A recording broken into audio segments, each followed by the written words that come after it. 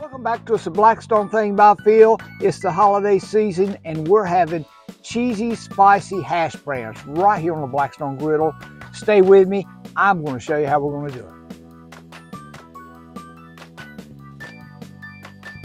Oh man, delicious. You can make a meal just off this right here.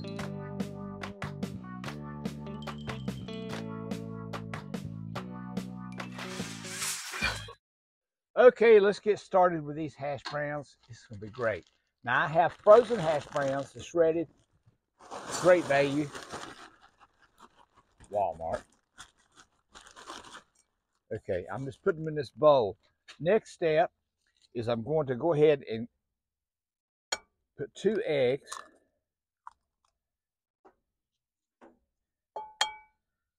Then I'm going to go ahead and stir this all up. Could use my hands, but I'm to go with the spatula right here. Now these are frozen, but that's fine. This is to work out just perfect. We're to get this all stirred up really good.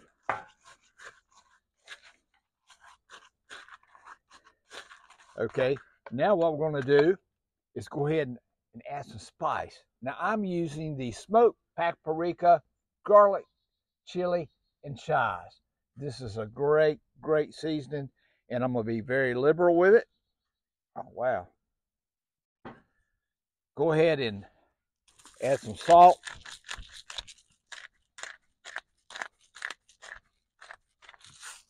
And a little bit of pepper. Love pepper. A little bit. Texas Pete, best hot sauce in town. Not too much, because we're going to add a little bit, a little bit later. Okay, we're going to get this stirred up. That's frozen. I've got the griddle on uh, a medium, I would say right now it's on medium low. I'm going to turn it up just a little bit. We're going to turn it up now to about medium. Give it a minute. Stir this up. Now let's put some oil down. And we're going to add just a little bit of butter with that. Get that all going. Yeah, see, see the griddle cooking up really good. We're going to lay these down and see how this turns out. Now, once we lay them down, uh, you do not want to start stirring them up or anything like that. You want to leave them alone. You just got to watch them brown. You're going to be tempted to flip them over, but you're just going to have to wait because it makes the best hash browns that way. And you're less apt to uh, have them all fall apart. But even if they do fall apart, and they do sometime, and it probably will in this video, you never know. Okay, let's get all this out here. Okay. All right. Take this here. Now I'm letting them thaw out a little bit.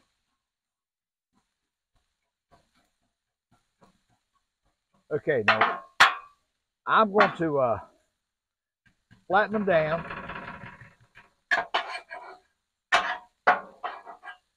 Okay, then I'm going to make it easier for them to flip. I'm going to take these and go ahead and split it a little bit.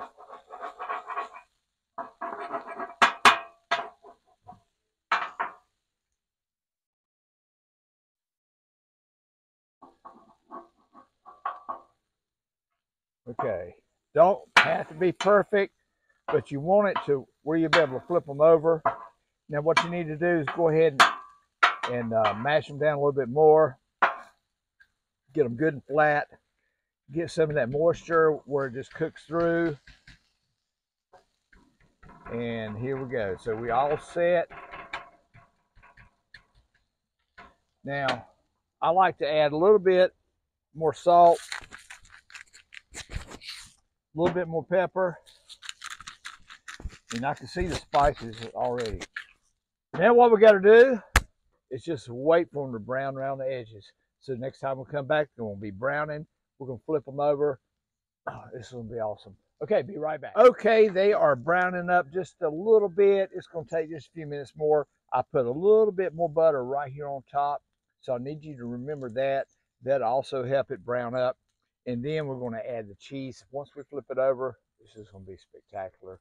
I can't wait to bite into it. And I want you to join me on this trip. Thank you so much for watching my videos. Thank you so much for subscribing, hitting that like button, and sharing the video. It really, it really helps me out a whole lot, and I appreciate it. Thank you so much. And don't forget to leave me a comment. And seems like somebody's hunting. Okay, we'll be right back. I believe it's that time. They have browned around the edges.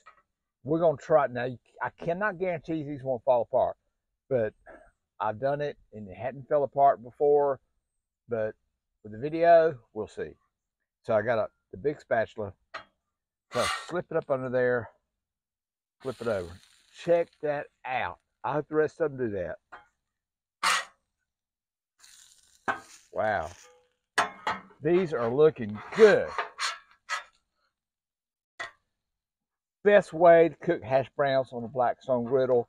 You need to share this with your friends. I went through a lot of trial and error trying to figure out how to do that. Now, quickly, we're going to go ahead and add our cheese right here.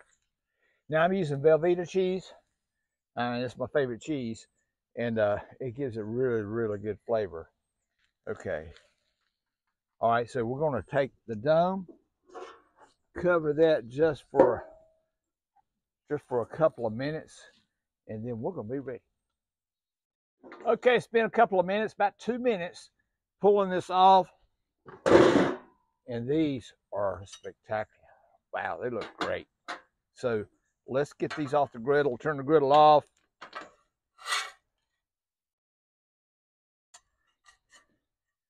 And my plate probably is not big enough, but it is what it is.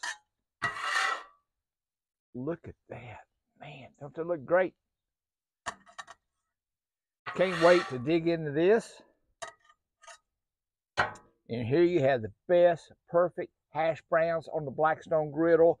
Spicy hash browns with cheese. And I'm telling you, this is wonderful. Mwah. Great. Okay, now let's go ahead and get ready to dig into this. Use a little bit more Texas Pete.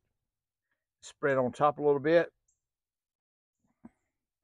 And man, this is gonna give it, this is gonna be great. Let's give it the taste test. Me and Mr. Claus gonna give it the taste test. And they're still hunting out here. Okay. I'm here in North Carolina, central North Carolina. So there's a lot of hunting. Check this out. Oh man. Delicious.